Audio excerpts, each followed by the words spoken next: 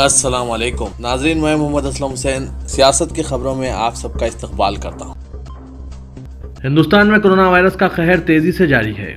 वजारत सेहत की जानब से चारशंबे की सुबह अपडेट के मुताबिक मुल्क में अब तक कोरोना मरीजों की तादाद चार लाख छप्पन हज़ार एक सौ तिरासी तक जा पहुँची है और महलूकिन की तादाद बढ़कर चौदह हज़ार चार सौ तिरासी हो गई है। ताहम अहदेदारों ने बताया कि मुल्क में कोरोना मुतासरीन की सेहतियाब होने की शरह में भी बेहतरी आ रही है। चीन और हिंदुस्तान की फौज ने मशरक़ी लद्दाख के तमाम ऐसे मकाम पर तसादम इख्तियार न करने का फैसला किया है, जहाँ तनाव पाया जा रहा है। ये अहम फैसला गुलवान वादी में दोनों ममालिक के दरमियान हुए तसादम में 20 फौजियों की हलाकत की वजह से बढ़ते तनाव के दरमियान सामने आया है।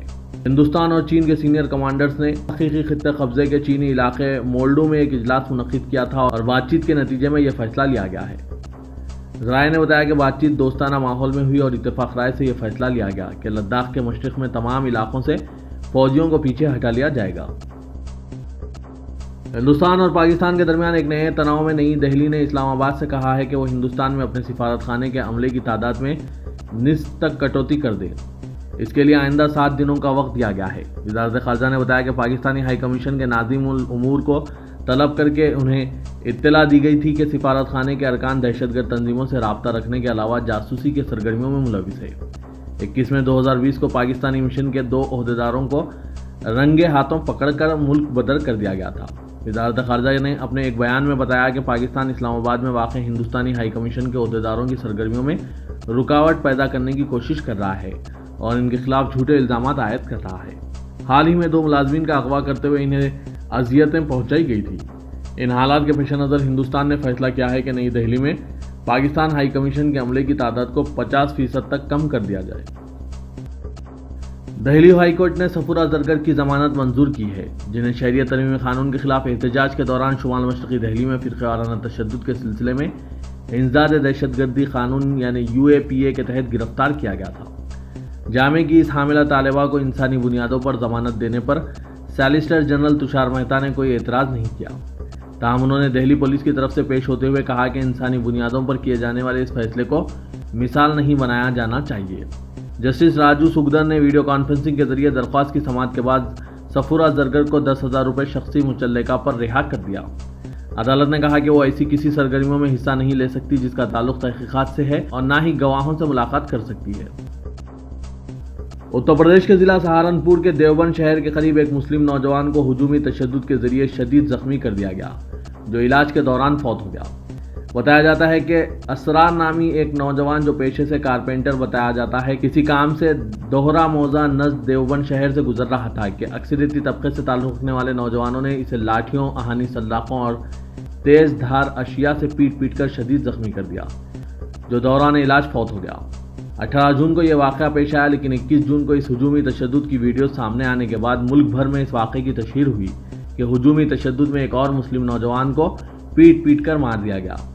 इस वीडियो में यह वाज तौर पर देखा गया है कि अक्सरी तबके के नौजवान असरार को न सिर्फ़ लाठियों से और लातों से बुरी तरह पीट रहे हैं, बल्कि वो इस पर दहशतगर्द होने का इल्ज़ाम आयद कर रहे हैं और इसे कोरोना वायरस फैलाने का जिम्मेदार भी करार दे रहे हैं। योगा गुरु बाबा रामदेव की हर्बल मेडिसिन तैयार करने वाली कंपनी पठानजलि आयुर्वेदों ने आज दावा किया है कि उसने एक ऐसी दवा दरियाफ्त की है जिससे सात दिन के अंदर कोरोना से नजात मिल सकती है।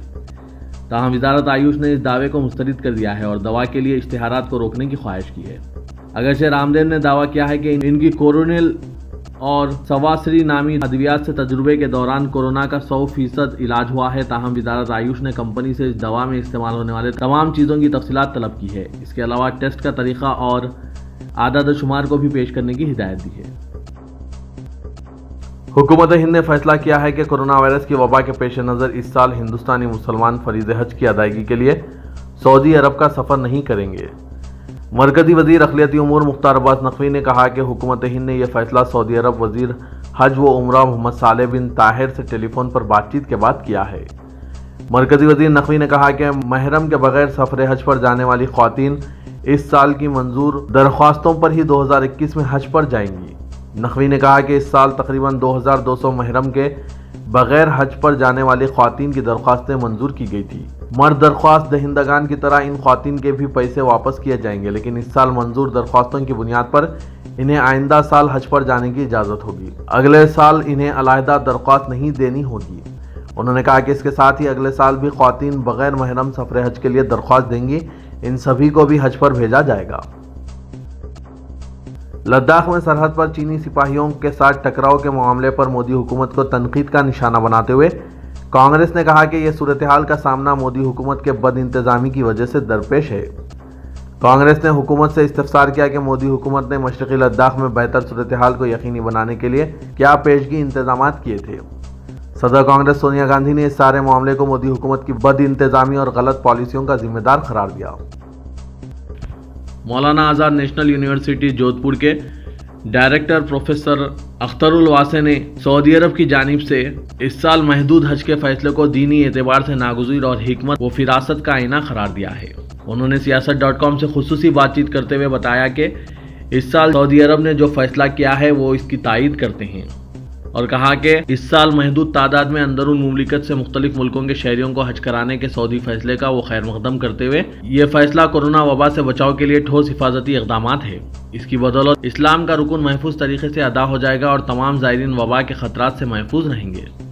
सऊदी हुकूमत का ये फैसला कि इस साल हज जो है, वो मनसूख नहीं होगा, बल्कि महदूद होगा। इंतहाई तदब्बर और फिरासत का आइनादार फैसला है। हमें ये नहीं भूलना चाहिए कि इस वक्त सारी दुनिया जिस वबा से दो चार है, उसका कोई इलाज अभी तक दरियाफ्त नहीं हो पाया है। लेकिन हुकूमत सऊदी अरब ने ख़ास तौर से खादमरमैन शरीफेन ने, वजारत हज ने जो ये फ़ैसला किया है कि हज अब के सिर्फ़ वो लोग अदा करेंगे जो कि सऊदी अरब में रहते हैं और उनकी भी एक तादाद होगी जो कि इस फरीदे को अंजाम दे पाएगी। ऐसा तारीख़ में पहली दफ़े नहीं हुआ है। ये भी हमें ख्याल रखना चाहिए। ख़ुद हज़रत उमर के ज़माने में भी एक दफ़ा ऐसी सूरत हाल पेश आ चुकी है, जब ताउन की वबा फैल गई थी। इसके अलावा बहुत से मौाक़े पे अगर देखें आप, तारीख़ के अदवार ऐसे हैं, जिनके अंदर के करामता की वजह से, सलीबी जंगों की वजह से, सियासी खाना जंगियों की वजह से अक्सर इलाक़ों के लोग जो हैं हज से महरूम रहे और हज नहीं कर पाए। हम ये समझते हैं कि ये फ़ैसला जो है, अगर नहीं होता तो बड़ी परेशानी का सबब होता। इसलिए कि हमें नहीं बोलना चाहिए कि इंडोनेशिया और मलेशिया जैसे मुल्कों ने हुकूमत सऊदी अरब के फ़ैसला करने से पहले ही ये तय कर लिया था कि वो अपने हाजियों को नहीं भेजेंगे। आखिरी बात जो मुझे अर्ज़ करनी है वो ये कि हमें इस सिलसिले में सऊदी हुकूमत की पूरी तायद करनी चाहिए और साथ में इस बात के लिए कोशिश करनी चाहिए कि अगले साल उन लोगों को सबसे पहले मौका दिया जाए जो कि इस साल हज के लिए जिन्होंने दरख्वास्तें दी थीं, ताकि वो इस फरीज़े को अंजाम दे सकें। उत्तर प्रदेश में योगी आदित्यनाथ हुकूमत आने वाले 26 जून को एक साथ एक करोड़ लोगों को रोज़गार देने की स्कीम बना रही है। एक करोड़ लोगों को वजी नरेंद्र मोदी के हाथों मुलाजमत दिए जाएँगे। नौकरी पाने वाले लोगों में 50 फ़ीसद लोग वो होंगे जो मनरेगा के तहत रजिस्टर्ड हैं।